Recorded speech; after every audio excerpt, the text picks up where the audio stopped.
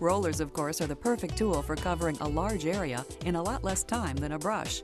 But not all roller covers are created equal.